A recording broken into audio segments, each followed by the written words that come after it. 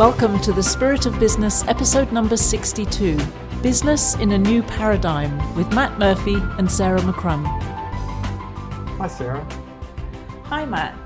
I have a question. Somebody sent me an email the other day and copied it to you, and she was saying kudos to you for the podcast that we're doing together. And she made this little comment that has made me think a lot uh, like comes back to me every single day and she said she's a former accountant and she's now working in what she termed conscious business i think. And she said that it's been really hard for her at times to shift the paradigm from the traditional and technical way that an accountant works to this different way of thinking which we describe as conscious business whatever that means and i think it could be quite vague even what it means. And it made me really think about you and the fact that your career, you started in the tax office, which is about as accountant as you could possibly, possibly get. You've had to do years and years of tax and compliance and all the stuff that accountants have to do. And yes, you're a brilliant business mentor. So you've got this other thing. You're not like what we all think of as an accountant, you're a completely different being from that. But still, at the heart of your business, you always have to take care of all that stuff because if you don't, you could be in really big trouble.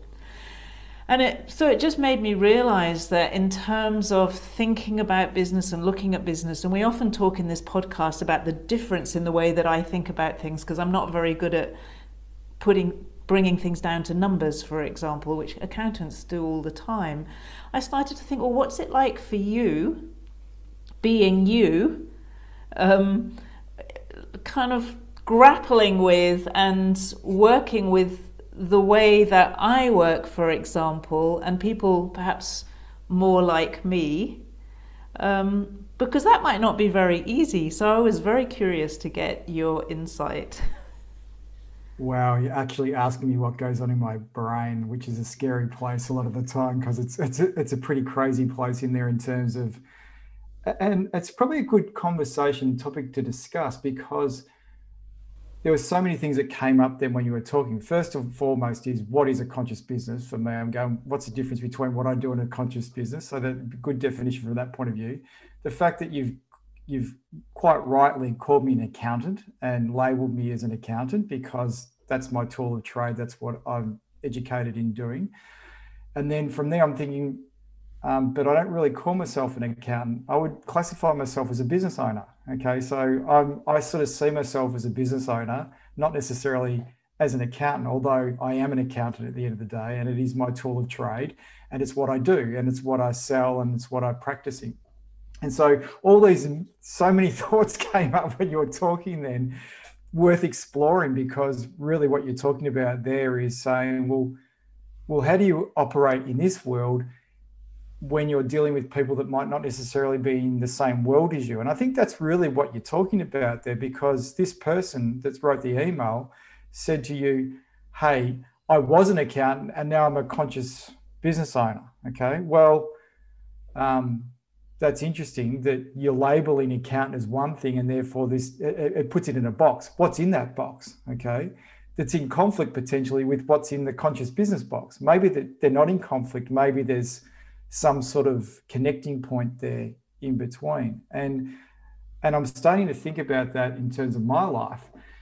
And I do often feel very conflicted around um, the traditions and the knowledge that I have and the experience and what I've been taught and the uh, the traditionality of it compared to a, a, modern world and a modern way of thinking and an evolution. Now the world evolves all the time, so we have to evolve and accountants have had to evolve over the years, going from you know paper based to abacuses to you know to, to, calculators to all that sort of type thing and to spreadsheets and then really moving into the more of the advisory sort of aspect of it. So there's been an evolution in our industry like there has to have been in everything.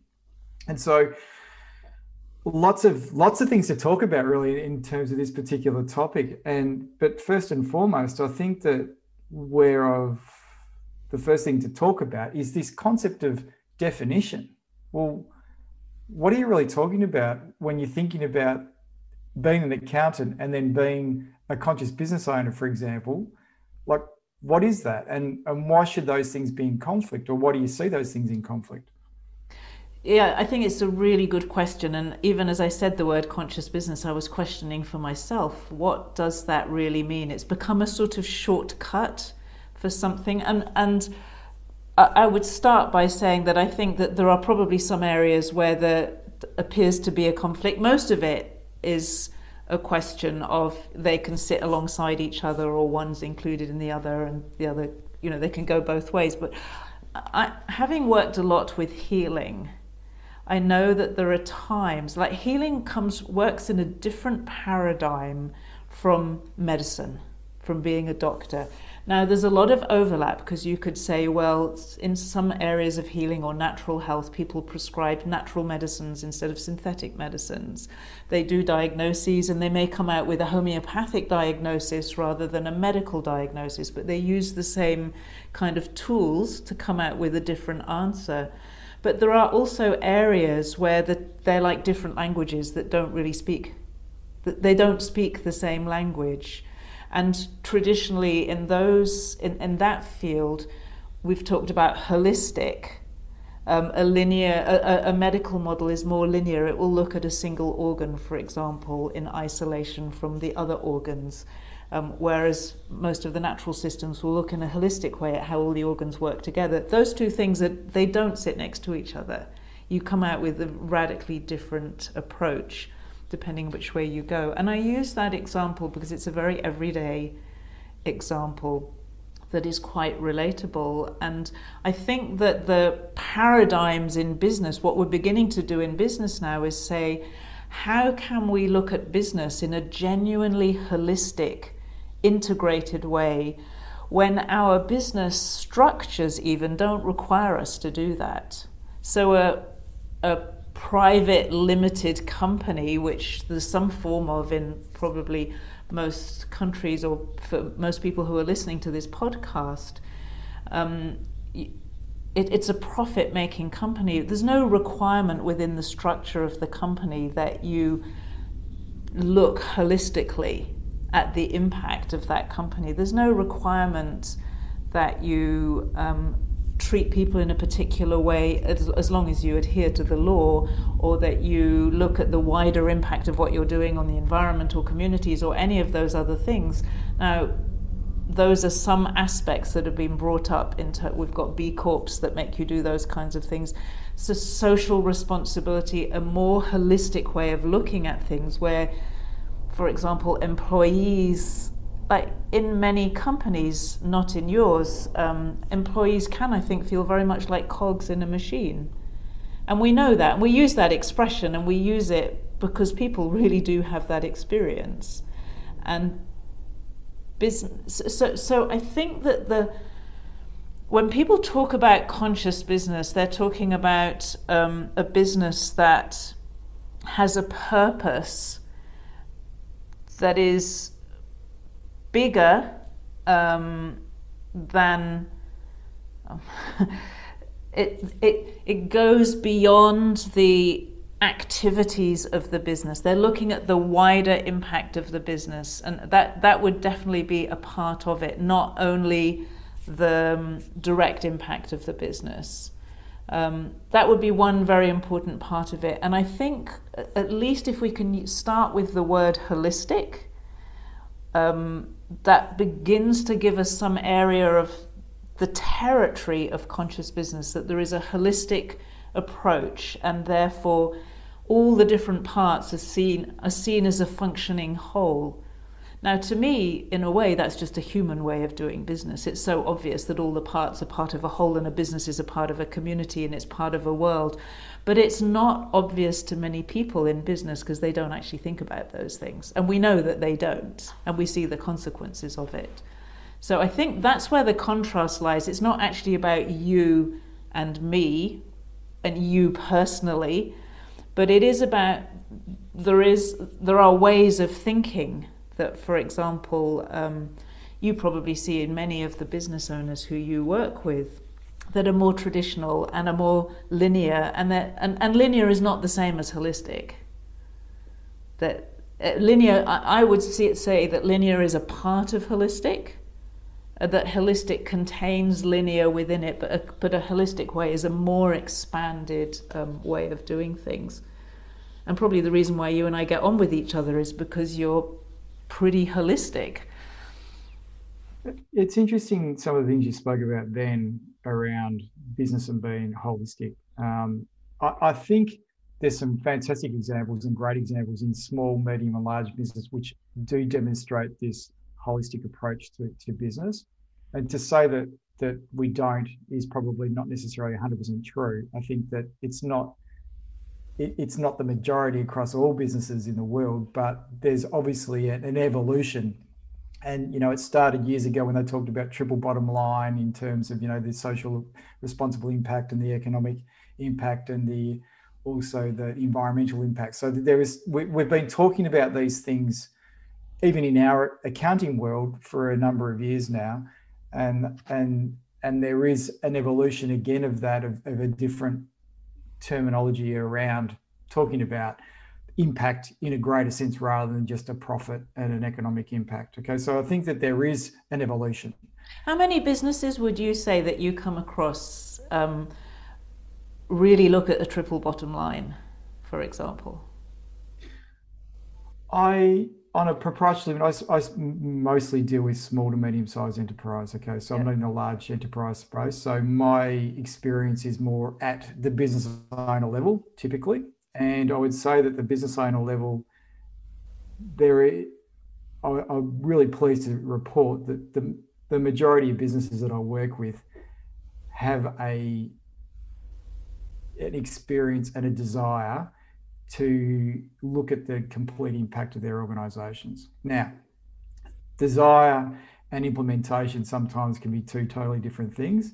And I see that the, the, the people are trying to do the right thing within their limited capability and probably financial elements of it as well.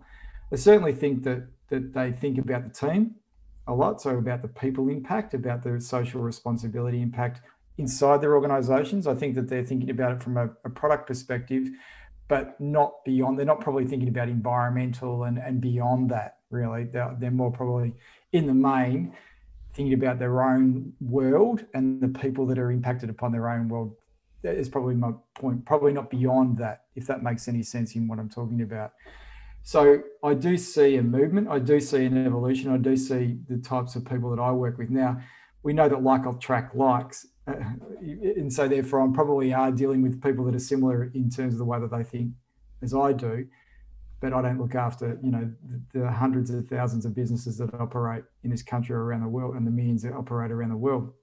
So there is an evolution. That's the first thing that I wanted to, to talk about, and it's like saying, well, what, how far does it actually go? And and I also think it's worth saying, well, the natural conflict and maybe this is where the accountant thing comes in, is accountants in organizations are known for cost control.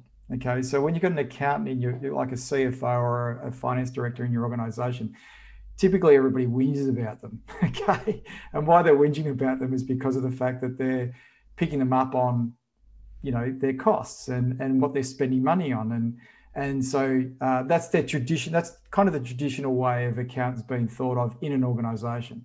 And so that's probably there's a negative element to that because you know you, are telling me that you're picking me up on how much I can spend, or you're limiting how much I can ex- I expend, or you, you're trying to to um, get me to say, well, if I spend this money, this is how much money I'm going to make out of it. So everything is very money orientated. It's very cost control orientated, and so I think that's where the the if you're talking about so holisticness, you're talking about having to think about investment, okay, and you're also the other thing that I want to talk about now before I lose a thought is that I've spoken and I've dealt with a lot of businesses that are in the creative space and historically would have been in the space of, say, graphic design or advertising or um, architecture. So something where there's a very high level of creativity and design element involved in it.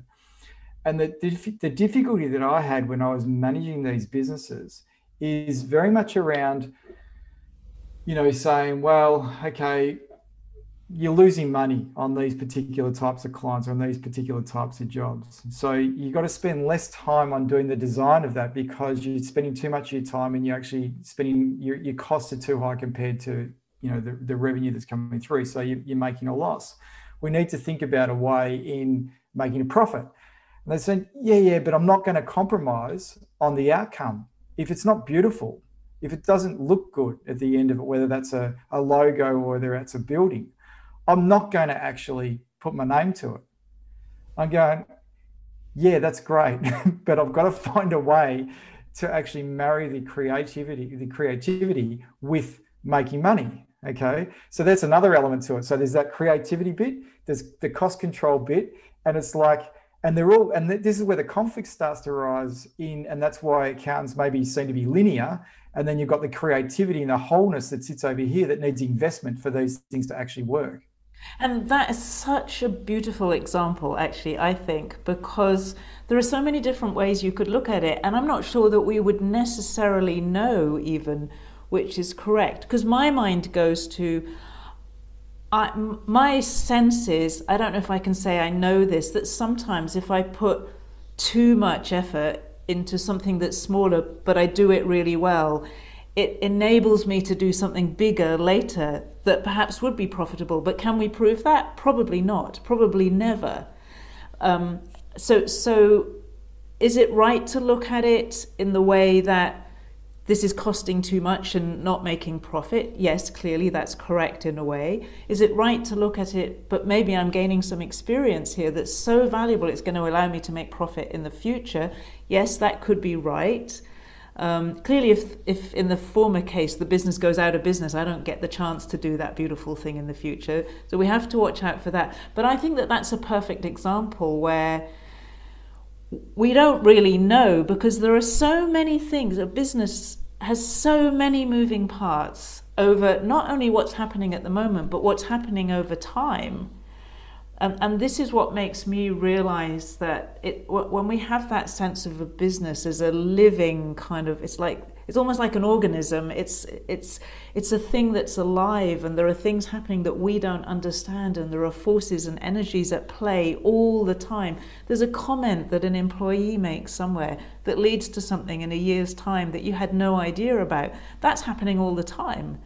And so, what is it that we're playing with that we're trying to pack into a structure that will fit into a set of accounts at the end or that you know you you can say to me oh show me the profit and loss and the balance sheet and I can see what's going on. Um, what like the thing that we're trying to pack is is so rich and diverse. And I understand we have to have rules and um, principles and laws and things like that and we say this is business and this is not business and but I, I think that shows why it's such a um, it's an interesting topic and such a challenging topic, actually. It is.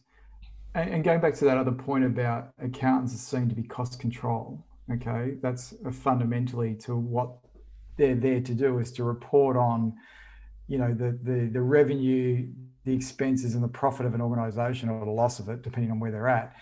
And so, if their responsibility is around managing finances and about managing the, the money that comes in and goes out and having enough money to pay payroll the next month, for example, and therefore it's all about cash control, really, at the end of the day, then they're going to be always thinking about it's like, you know, a surgeon will always think about, a, you know, solving a problem with a knife, you know, an accountant's always going to solve a problem with cash and money, really, at the end of the day?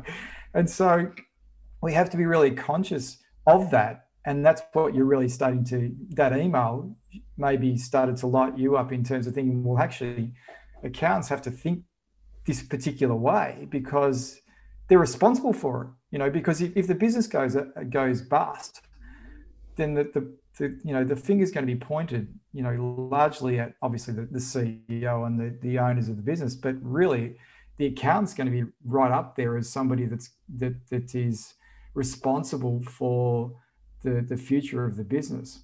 And so because I, of, there's probably a way.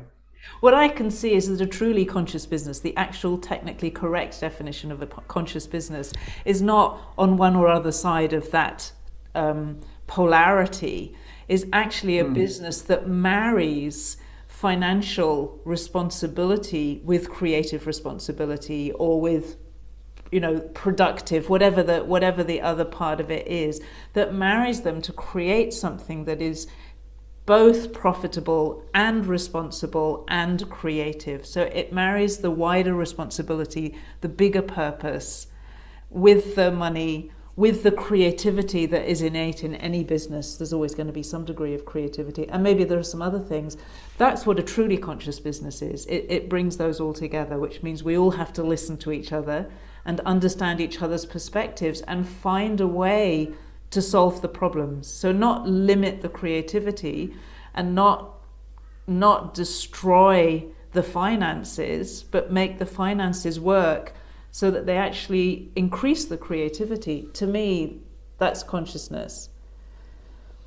And I think Which the dichotomy exists where people are just not doing really good business because they're not willing to think it out. So they say, the, the accountant says, you can't do that. The CEO goes off swearing at the accountant. I'm speaking of an example I can think of. the accountant is destroying, or is the CFO, destroying the spirit of the business because all he's doing is counting numbers and doesn't see that this person actually contributes to the happiness of the clients and they shouldn't be cut as because they're an unnecessary cost. They're essential to the experience the business is delivering. The accountant is not seeing that.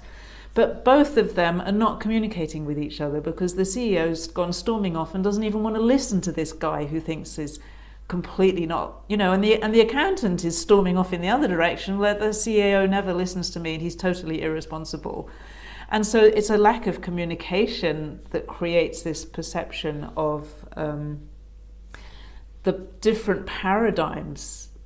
Um, I think, you know, as we open up to a more purpose driven economy that's not it's just it's kind of driven in a different way we're not going to be able to abandon the financial aspect of it we need to use it even better and more wisely than we have before what you spoke about then reminds me of the, the large differences between a larger business and a small business. A, a larger business has typically what we call a C-suite. You know, you have your, your chief financial officer, you know, chief HR, chief sales and marketing. You have all these chiefs that sit underneath the, the, the chief executive officer, the CEO, chief. And so the, the, the point there is that you have these heads of responsibility so you have the the account that's going to talk about numbers and financial responsibility. You got the the HR, you know, head of HR is going to be talking about people and culture and making sure that you know the, there's, there's a social responsibility around that. You have sales and marketing that's going to be responsible for you know obviously the aspect of selling, okay, the products and services or marketing from that point of view, and it goes on and on. And then you know what was if we're talking about a holistic business, you've got to make sure you're adding the extra bits to those because they're, they're just as important. All the things we spoke about, you got to have the numbers and you got to have the people and you got to have the products. And, and so in a small business, the business owner is typically wearing a lot of those hats, okay, and then employing people to support them in that. But they're largely, you know, having these conversations. But a lot of the time, they're having the conversations in their own head rather than with each with other people. So they, they and this is the thing about why I called myself a business owner before is because yes, I do have a C-suite, by the way, but I still have all these conversations in my head, and a lot of them are in conflict. Some conflict is probably the wrong word, but it's they're they're they're constantly talking to each other about saying, okay, we have this thing happening over here on the numbers. We need to make money and profit. We've got we've got to be, you know, we've got to make sure that our, our products are responsible and ethical and all those sorts of things. And then, then our people and our culture has to be the best. So you're constantly trying to juggle all of that to have a sustainable business. And I think that the business owners that I know are typically trying to do most of that um, and having people support them to do that and expertise to do that. But it, it's hard. It's really, really, really hard. Um, not only at the small business level, but also the large business. But the, the, you can see the structures and the conversations are very similar. Yes, uh, it's actually very hard when you see that those roles are quite different to have all the conversations in your in your own head. That's very hard, isn't it? To try to represent those different roles, and and each person is probably going to favour one over another. And we see in very large business that very often money wins out over everything else, and profit can be at a great deal of cost. Um, not cost as in the accountant um, is thinking about. The accountant might be happy because the business is very profitable, but the cost is beyond the the kind of frame of the business itself. It's a cost to the environment and communities, and we hear a lot about that. So we don't need to talk about that here. But I think to um, for us to be able to look at, for example, if, if one has more of a financial brain, to look at the people not just as a cost, that the way of looking at people is different from the way that you look at the numbers. And the way you look at sales and marketing, uh, so let's say marketing on its own is especially about communication, is different from how you look at people or how you look at numbers. And so we need to have these different forms, different kind of capabilities and that it's a constellation of skills that it takes. And it's not just skills it's it's mindsets. It's it's a way of thinking about things. It's no wonder we I use the word holistic because you need to have an incredible agility and flexibility to think about all of those things. And it goes back to what you were saying before about what your preference is. So I see businesses especially in that C suite where the CEO might have come up through the ranks of being the CFO, being the accountant, right? Some come up through the ranks of being the sales and marketing, and the other one might be the product technical person that comes through the ranks as well, or HR. But they typically will come up through the ranks based on their own vertical, okay, or their own discipline. And so, therefore, organizations then take on that personality typically because of where they've come from. Now, as much as I'm an accountant, I would say that I'm a people led CEO as opposed to a, an accountant or numbers led CEO. So I think about people probably more than I do most other things. And so then I will always be thinking about people first and then money and profit and all that sort of stuff second. Okay. Whereas other people might be thinking profit and money first, people second. Okay. Now, somebody else might come along and go, I'm thinking about social environmental impact first. Okay. Which is kind of in this probably new paradigm that you're talking about in terms of the conscious business, the holistic part of it, about the impact that the organizations are having.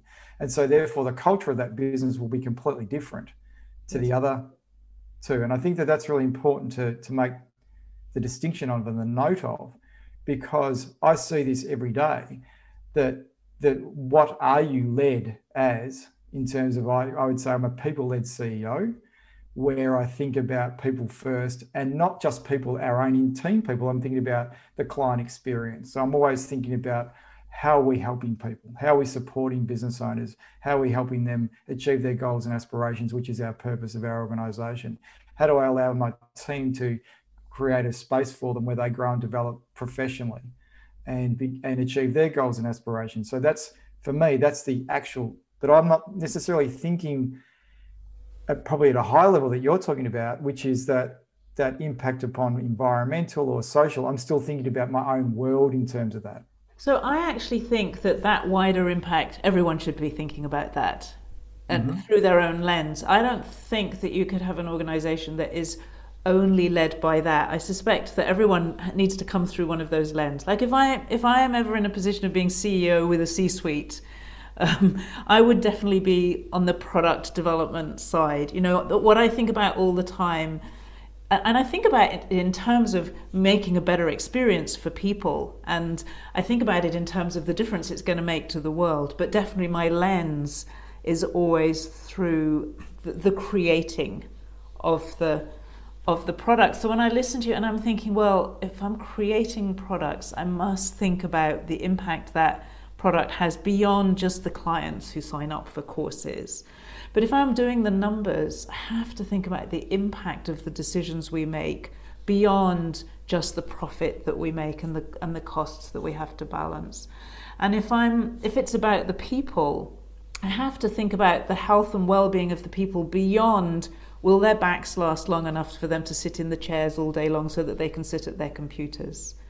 Um, I heard a, an example the other day of somebody who worked for a very, very large company who wanted her, discovered her her team, many of them had back problems, and wanted to get some kind of the right chairs for them, and was told by um, the executive team that she couldn't, and she said, "Well, you can take it out of the bonuses if it doesn't work." out of our bonuses if it doesn't work because um, I'm going to do it anyway. And she did it, and of course, saved a lot of sick leave and all the things that we know happens. But health and well being is not just about making sure people can do that thing you need them to be able to do. It has to be, it has to be about the wider health and well being. Not that we're responsible for people's health and well being, they are, but perhaps to create an environment where they can actually take responsibility for it rather than kind of be forced into situations that are very uncomfortable. So I think the purpose part belongs in every sector of the business. Because it's an expression and, and it belongs in every you know member of a family. You can't say well mum will take on that bit and everyone else everyone else can trash the place and mum's going to clean up all the time. Uh, which is actually what happens in many families i think. But that's not breeding kind of social and environmental responsibility. It's breeding what we're trying to move away from now. Yeah, it is. And I think about it saying, I, as we said before, my experience is a lot of people trying to the to the level of their capability and the best of their capability as it stands today with the resources that they have. Um, some, you know, aren't thinking about it at all. There's some that are in the category of thinking about it that probably don't know how to do it. or don't have the resources or the capability. And there's some that are actually great experiences where they are doing it. They've got the thought and they are doing it. So there's probably the three categories like there is in, in most things. And I do see conscious business owners daily trying to get better at this stuff. But you know, there's there's still a lot to do, and that's probably what you're talking about. We're, we're sort of, and there's so much uh, so many views. Like you know, when you spoke about the woman before with the, just the backs, and you said the executive team, you're probably kindly saying the accountants are saying they couldn't actually probably. yes, we're not going. That's an expense, an unnecessary expense. You know. That's right, and and that's conflict because if I'm a people-led in that situation, if I'm a people-led CEO, I probably would have done the same thing. So just take it out of you know I don't care. You take it out of my bonus, take it out of whatever it actually is, just because I care about the people that are in the organization. And I know that if they're feeling good about the world, then typically our clients are having better experiences and they're having better experiences in themselves. So there is just so much to think about constantly and so much conflict. And if you don't have the resources, as we said before, as a business owner, this is all going in in your own head. And you've only got so much capacity to actually implement that from a from a responsibility perspective? I think perhaps the, the thing that is dawning on me as being particularly um, important, and it's one of those things that occurs to me time and time and time again, or I recognize more and more deeply, is that um, if you look at it from a purely business perspective, it takes a lot of resources. But if you look mm. at it first and foremost from a human and personal perspective, it, it does also take time to treat people well, but why would you ever not want to treat people well? For example, it takes time to listen to your accountant and actually get your accounts to work rather than be blind to what they're saying and not listen and then maybe go out of business, which is a very painful consequence. So it takes time, but that is time that we need to take. Um, and there's an expression I've heard recently. Um, somebody talks about slowing down to the speed of consciousness. And I started to understand what he means. It's like actually doing things at a speed where you can create this kind of holistic result, where you can actually take account of all the things that need to be taken account of. You're not rushing so fast that you don't have time or energy for the things that are actually important. And I think if we do that, in our family life and also in our business life. We start with ourselves, we start to create an environment where that's the norm, that we take care of each other, that we think about the wider impact of what we're doing simply because it's the right thing to do and because human beings are naturally geared to do that. And we're forgetting who we are when we get into that hurry and we don't do it and you know and we mess up in the way that we do. So this is about becoming more human, more alive, more relaxed in a way, slowing down a bit those things that are in a hurry and also speeding up the things where there's so much um, procrastination. I mean, things move so slowly in business, almost to match the ridiculous speed that people are trying to move at.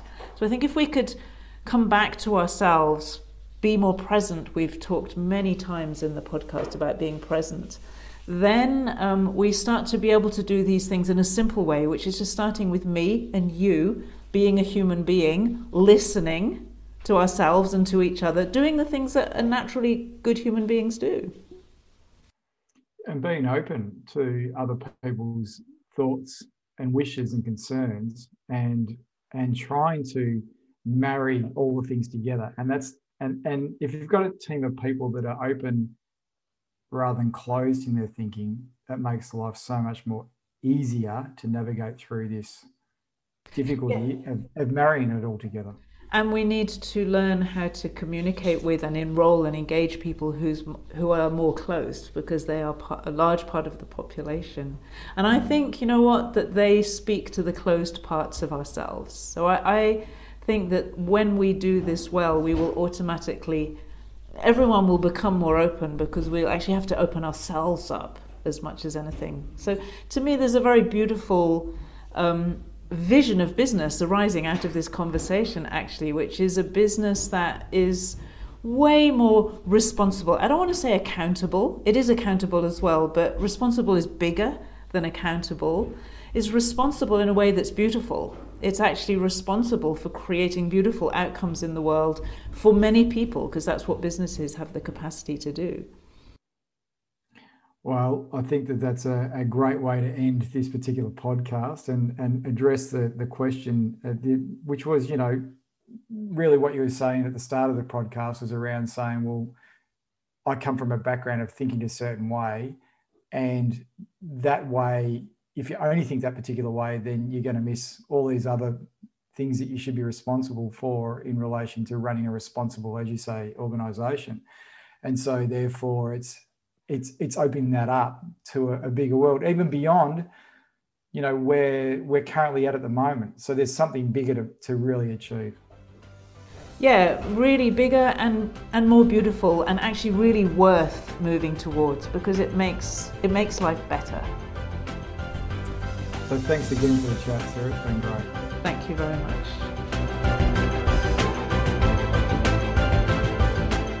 Thank you for listening to The Spirit of Business with Matt Murphy and Sarah McCrum. We'll be back next week with another episode. You'll find the show notes with links and other useful information on our website, spiritofbusiness.live. And if you enjoyed this podcast, please share it with your friends.